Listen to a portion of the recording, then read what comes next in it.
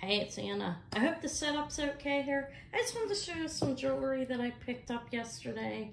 Today, actually, I'm filming this on Thursday evening. So this is some of the jewelry. This is all of the jewelry that I found. I found this in one local thrift store. Um, I found two pairs of Alexis Bittar. Quite beautiful. Look at that. I feel like it's a little dark in here. Let me move the light like this.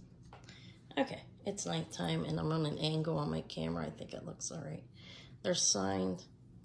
Both have a cartouche. These are Alexis Bittar. Um, those are crystals. They would have gold plating. And um, these are lucite. See the crystals in it. Those are Alexis Bittar. They're about an inch and a half drop. They're beautiful. Um, these ones are amazing. Absolutely amazing. So amazing. They needed their own short. These are high-end Alexis Bittar uh, lucite earrings. There's lucite and crystal. I believe that is lucite as well. Looks like glass. That's what lucite's about. It's also hard to break. Um, it's a, like chip resistant. Looks like glass. These are lucite down here as well. And then there are crystals in a number of places here and up top. Both are marked with a cartouche. These are fantastic. Signed Alexis Bittar. Wire earrings, gold-plated crystals and lucite. Beautiful. Absolutely beautiful, right? I thought they were amazing. Those are at least two inches, maybe a little more. I also found a phenomenal Swarovski set. This is, I, this is nice. Um, they're sapphire color and clear crystals. It's a swan signed on the back and looks rhodium. They rhodium their jewelry. That means there's a rhodium plating over whatever they use underneath. That's what rhodium means. I don't believe they, they can make jewelry out of rhodium, but I was told by a jeweler it's so expensive that they, don't do that. They plate things that with it, but this is plated with rhodium. There's a swan. The Swarovski swan, the swan's on the back of there. And the swan's on here as well. It's beautiful. Little um, rhodium and rhodium plating and crystal set, okay? As well as these, look at, you have a bunch of clear, you have larger clear crystal, and then there's one that's the color of a sapphire, which I would love to keep as set, but I'm not going to. Um, swan sign in the back, and rhodium pair of earrings, about an inch and a half, an amazing, amazing set. Swarovski. It's beautiful. I think it is. I found a few, like, at the store, there must have been a, um, apparently there was somebody that was collecting Alexis Bittar. I hope I didn't miss anything. Um, I was looking.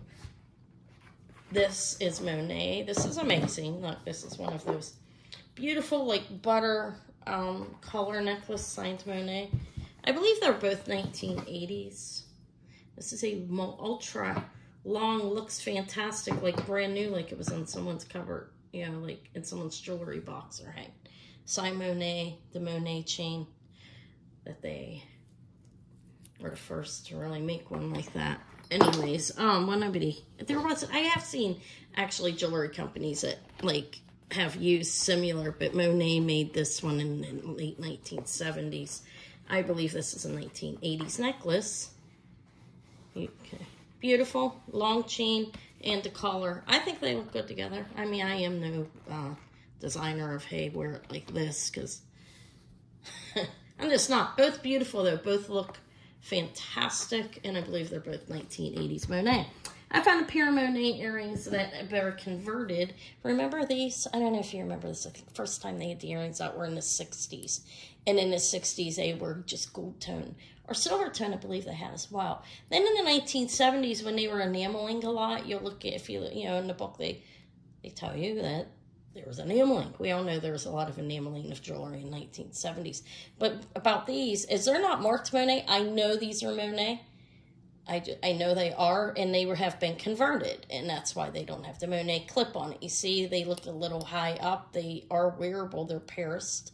Somebody had them converted from um, you know, being clipped to pierced. And these aren't a real common pair to find. And they're cool because of the color. It's a dark blue and a light blue. If you have a necklace and you're looking for it, that would be great for you, right? All right. Um, this is just a small lot. This right here, Yeah, and Monet's good too. Um, if somebody collects, this one's beautiful. But these three were really good.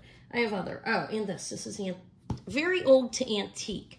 This is like crystal, like the type you'd see hanging from a grandma's chandeliers. I have a beautiful ashtray that has crystals like this that hang off them.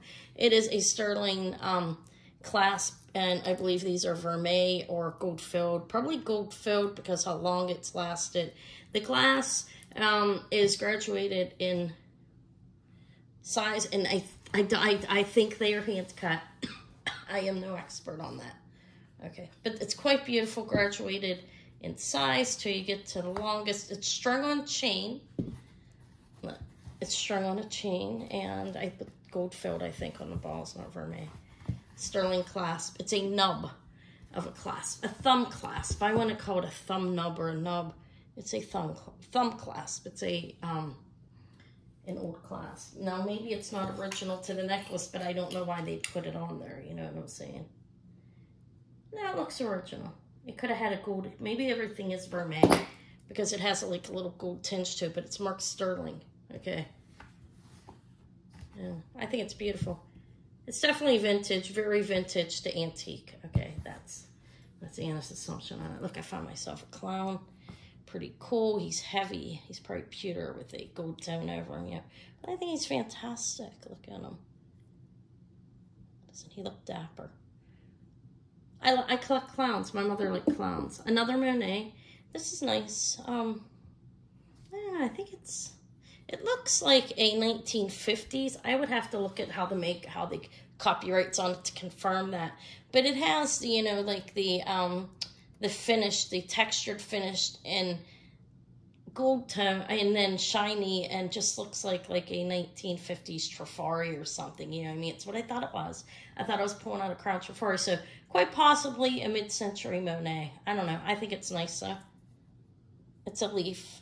And I, you know, that's the style back then too. Um, this, this is simple, but I thought it was pretty.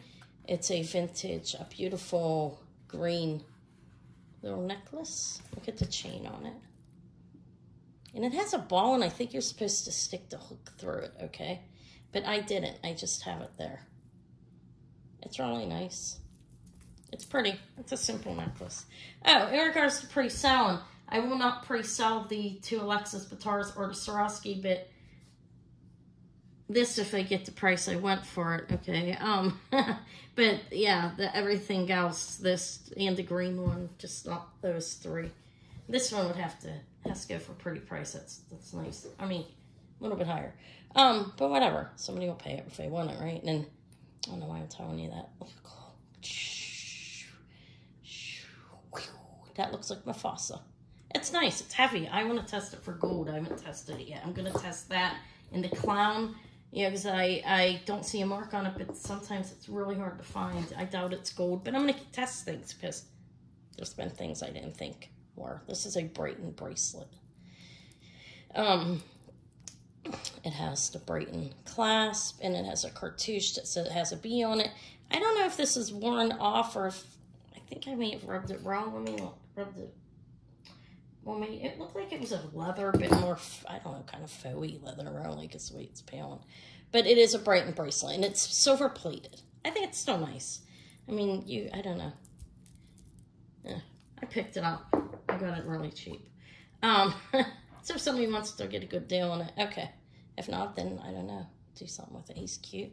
He's enamel on his back. It's purple.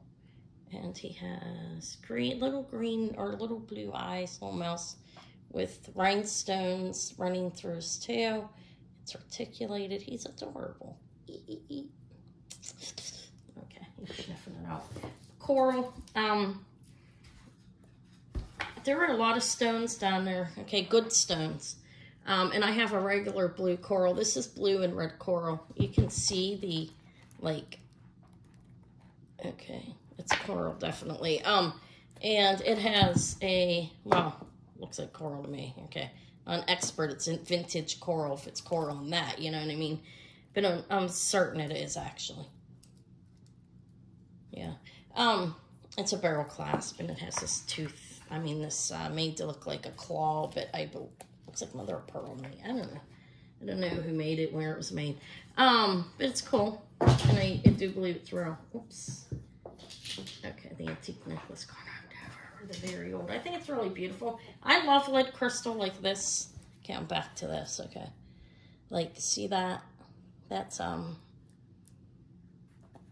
yeah, it's not rock crystal, it's lead crystal. It's amazing. Looks like something would have been hanging off the chandelier. Beautiful. Um, okay. I don't know why I showed it again. This is modern. Um, this is not crystal. This is not, this is a glass with an AB coating on it. It's double strand. It's nice. Nice necklace. But it is a lobster claw clasp silver tone findings. This is costume. Pretty long, probably about 30 inches. And you can layer it. You can wear it. It's double stranded. I think you saw that, right? So you could just wear it long, or you could take this and double it up in position, have four chains, make them all different lengths if you wanted. It's pretty nice, actually. And it's, I think it's beautiful not everything's sterling for me. I mean, like even this, I mean, this isn't, oh, this is probably vermeil. And I doubt the chain underneath would be, I think they would use something stronger like a brass, you know, because lead crystal's rather heavy. It has a little bit of weight to it. Um, they may string it on silver occasionally, but I would be very hesitant to think that on that, okay? I mean, and that's just my humble opinion. I could be completely wrong, but it's heavy and it's beautiful. Um, I really like that. Okay, so this one's nice too. This is modern AB. It's not very heavy because it's not lead crystal, but it's beautiful. Okay, I don't know why I got into all that. Um, I think I'm tired. It's been a long day. Anyways, these are silver tone and gold tone. I can't see a name on them. Oh, look, look. They're nice. Uh, they have the X's. Those look like Klein's. Hold on. Let me look. Let me waste your time. if you want to go, you can go. Or you can hang out and listen with me. Um, I don't know. They're not marked, but they definitely look like Anne Klein. You know what I mean? The X's and O's. Um, could be another brand as well, though, because they all do similar things around the same time periods. You know, somebody's the first, and then there's some copies, and I don't know if she's the copy or not. But anyways, reminded me of Anne Klein because that's the depth that I've seen that. Could have been another brand as well, but these are costume. And um, they're pretty well made. They are like like that's folded over pretty well. They're not chintzy put together. And it looks soldered. So they're a well-made earring. I don't know who they are. Okay, I took a look at that threat. There is a difference between construction and jewelry, though. That's something I've noticed with quality when I'm looking for older jewelry or whatever. It just, it looks different or, or better than... Okay, all right, I think I need to go like watch TV or something. All right, that's it. Sorry about the jibber jabber. Here's some of the stuff coming. Nice. Um, I'm going to add those three and maybe the crystal necklace if I don't get what I want for it. Okay. All right. The other things are all for pre-sale if, if anybody's interested. I took up enough of your time I'm trying to drag it out for 15 minutes. No, I'm not. I'll talk to y'all later. Thank you so much for watching. I will be on tomorrow because this is coming up at 12 noon. I will be on at 2 p.m. Eastern Time. Okay, that's the time I'm doing it because I can go to estate sales and everything and have what I'm selling. And I like Saturdays during the day. I, I know I did lose one person that I really liked, and I'm sorry about that if you watch this. Okay, look, I guess I could email them too. I can't help it. I have to do what I can do to manage my life, and I have a full life. You guys know that that know me, and I'm happy I do. Keeps me alive keeps me happy. You know, I have my family, my children, I have to help take care of my grandson. That's important to me. Um, so I mean, you know, I have to do it when I can. In evenings, I'm pretty beat. Evenings are never a good time for me. 5 p.m. is not a good time because I have to make dinner. You know, I, even when I have Eva and I have the baby three to four days a week, and then I have, you know, there's things you have to do, but whatever. I'm really blabbing on. I'm almost at that 15 minute mark. so, yeah, that's been the best time for me.